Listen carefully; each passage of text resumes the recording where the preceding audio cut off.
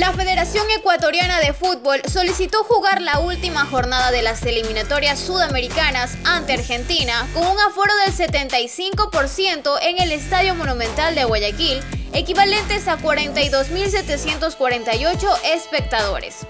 Dicha solicitud será analizada por el COE Nacional.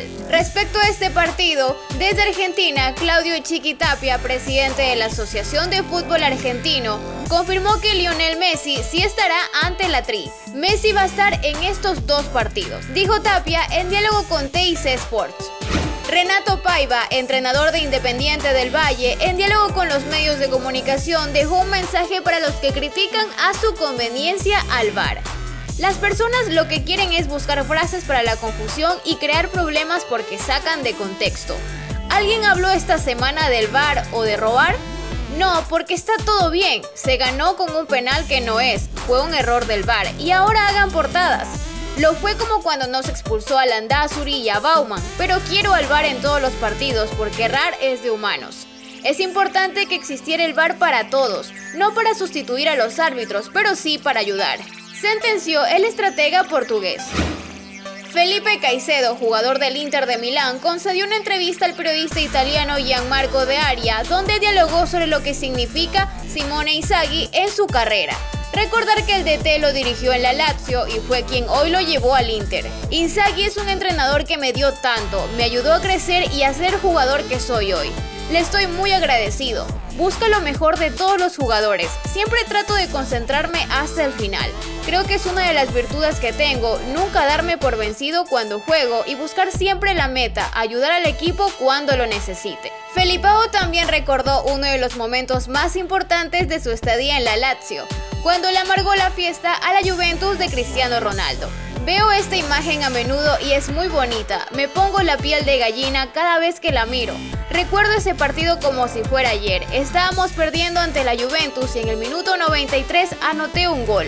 Fue un partido muy especial, sentenció Felipe Caicedo.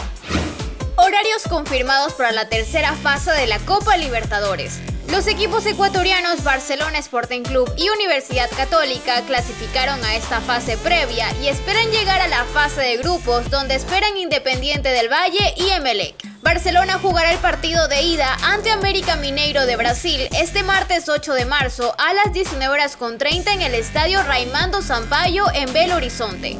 Mientras que la vuelta será en el Estadio Monumental el martes 15 de marzo, también a las 19 horas con 30. Por su parte, Universidad Católica en esta tercera fase enfrentará a The Strongest de Bolivia.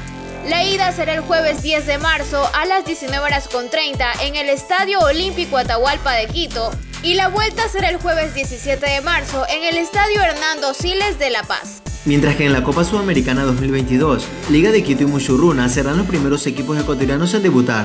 La ida será el miércoles 9 de marzo a las 19 horas con 30 y la vuelta el miércoles 16 del mismo mes en el Estadio Casablanca. La segunda llave la protagonizan Delfín el 9 de octubre. El partido de ida será el jueves 10 de marzo a las 19 horas con 30 en el Estadio Hokkaido de Manta y la vuelta será el jueves 17 de marzo a la misma hora en el Estadio Modelo Alberto Spencer. Recordemos que los ganadores de las llaves accederán a la fase de grupos del torneo. Billy Arce es pretendido por un equipo colombiano, luego de que se conoció que el jugador rescindió su contrato con el Brighton de la Premier League. Según información del periodista Fabián Gallardo, el futbolista de 23 años estaría en la órbita del América de Cali como posible refuerzo. Arce espera poder llegar a un acuerdo con el club en el transcurso de los próximos días.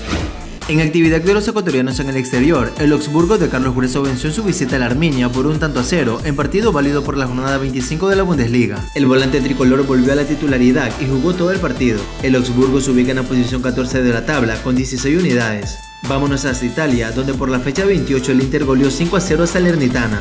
Felipe Caicedo estuvo en la banca de suplentes, pero no sumó minutos. Con esta victoria el Inter de momento es el líder de la Serie A. En el arranque de la fecha 3 de la Liga Pro, Emelec no pudo contra Guayaquil City y empató a 2 en el Estadio Capuel. Rodríguez puso la primera a través de tiro penal al minuto 6. A los 10 Cleviño empataba el compromiso. Quiroga a los 32 minutos ponía nuevamente en ventaja a los azules que parecía que se quedaban con los 3 puntos, pero en el minuto 96 Ramón anotó el 2 por 2 definitivo. Emelec suma 7 unidades y de momento es el puntero mientras que el Guayaquil City tiene 5 puntos.